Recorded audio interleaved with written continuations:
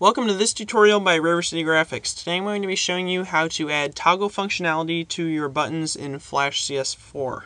So uh, my example today is going to be a web application. Um, I'm sure you've seen them in JavaScript where they have them on the side of their website and there's a button here, it'll be in the corner, and it opens and they have some content, maybe a feed of some sort. Um, so that's going to be my example. I'm not going to have the feed or, or anything, but I'm going to show you how to do the toggle functionality. So to start off, we're going to need three layers. We're going to need an action script layer. We're going to need a window layer, the window that's going to open. And we're also going to need a button layer. So to start off, we're going to use the button layer. Grab your rectangle tool, and let's just make a bluish colored button. And we don't need a stroke, and we're just going to put this in the corner here. And that looks pretty good for our button. Except we need to reposition it here on the side. Alright, let's uh, add some text and make the text visible. Uh, 30 is going to be too much. Let's put it at like 23 maybe. Let's just say information. And we're going to rotate this. We're going to need our transform tool here rotate it around and then just position it on your button. If you have locking on, you can just nudge it with your arrow keys, or you can pos position it with your align uh, palette, but arrow keys work fine. Um, so now we're going to select this entire thing. We're going to hit F8, convert it to a button, and we're going to say toggle underscore btn, okay, and we're going to give it an instance name of the same thing. Toggle underscore btn. Alright, now we need to create our window. So click on the first frame of your window layer and grab your rectangle tool. Let's make it a, how about we make it a light colored window. We're going to just drag out from the top of our button here down to the bottom of our document. It's okay if it goes over a little bit, you just want to make sure that, um, actually let's make it a little bit uh, darker because it's kind of hard to see for you guys. Alright, so now I have my window here. This is going to be a thing that opens and closes. So click on it, hit F8, and we're going to create a movie clip so we can add an animation to it. And we're going to call this toggle window. And make sure you give this an instance name of the same thing. Toggle window. Alright, there we go. So let's double click on this to get inside of this to add our animation everything. We're going to need three layers again. Uh, one's going to be animation. One is going to be action script. And one is going to be the content that's going to be in the window. Alright, so let's go to our animation layer first. And since uh, Flash CS4 has uh, 24 frames as a second, and we want this to open fairly quickly. I'm going to put it at 12 frames for uh, that's where our content's going to be, so it's going to open in a half a second, so it's going to be pretty quick, um, but also pretty smooth. So I'm going to right click, copy this frame, put it at 12 seconds, paste it, and then click in the middle and do classic tween, since we don't need any of the, uh, we don't want, um, I forgot what the other tween is, but we don't need that because we don't need any of the fancy CS4 stuff. We're just doing basics. Um, so anyway, we're going to click on the first frame, click on our transform tool here, and we're going to drag this registration point to the corner, and then we're going to drag this up here so that it's pretty much not visible. But you're still going to see this gray part here, so what we're going to do is go to color effect if you're not already clicked on it, uh, then click on it and go to color effect and go to alpha and then make sure the alpha is put to zero so it's all the way to the left. So now we need to make sure that this registration point on this middle piece or this middle uh, part of it needs to be in the left too or else it won't uh, it won't move correctly but as you can see here since I moved that it is now opening nicely.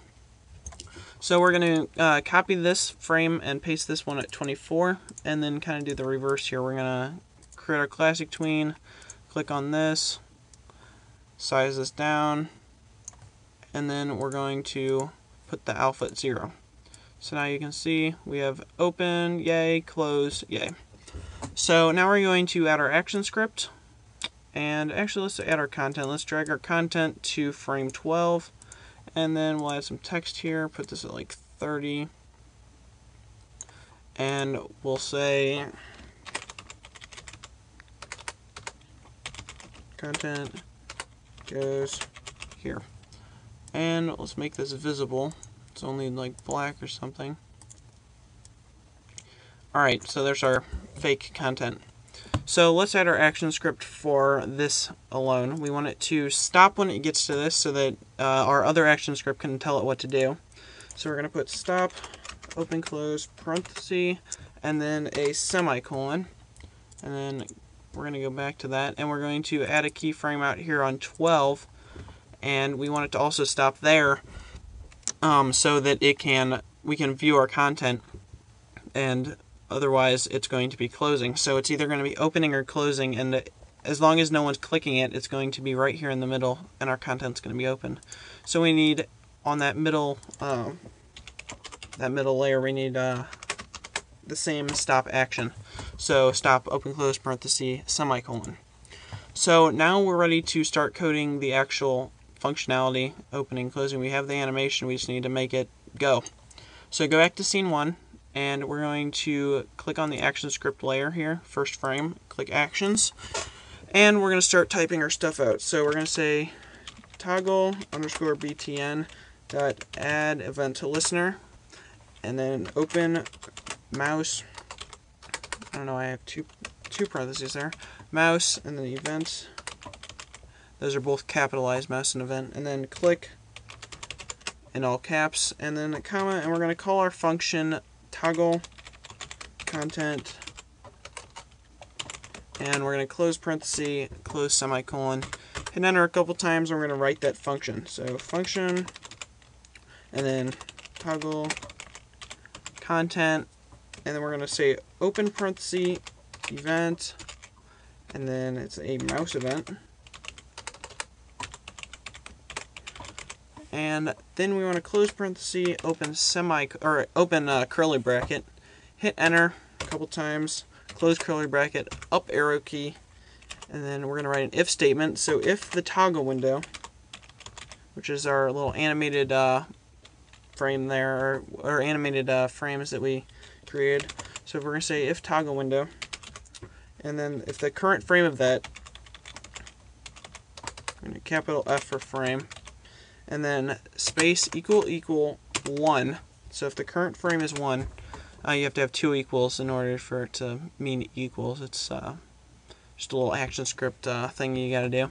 Um, so if the current frame is equal to 1, then we want to have an open curly bracket, and then we're going to have a closed, actually let's just write our function here.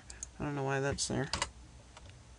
Open curly bracket, and then our toggle window is going to go to and play 2.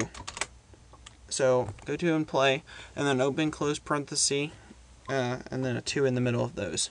So we're going to hit semicolon, and then we're going to close this off with a uh, with a curly bracket. So basically what this says is if the current frame is 1, then it's on uh, that frame that says to stop, so it's going to be closed. It's going to be where it is right now. And if we click it, we want it to open to the uh, second frame, which will play the animation, and then it's going to stop when it gets to the 12th frame. So we need an else statement, so we're going to enter right here, and else, and open curly bracket, hit enter, and then we're going to say the toggle window is going to go to and play and then open parenthesis 12, close parenthesis, semicolon. So if it's not on the first frame, then it's going to be on the 12th frame, and it's going to go to this 12th frame and it's going to play it. So instead of stopping, it's going to uh, play the closing animation. So this is pretty much either going to open it or close it, and the stop action within our toggle window animation is going to stop it on the content. So if we do control test movie, it should be working properly, except that something is wrong. Let's see what we roll over this. Right bracket before the end of the program, so I missed a bracket somewhere.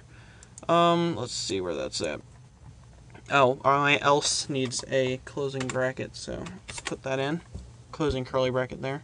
Control test movie, and it should be fine. There we go, you can see it toggles nicely. Our content comes in, you can fade that or make this nicer in any way you want. Uh, but this gives you the functionality to do this.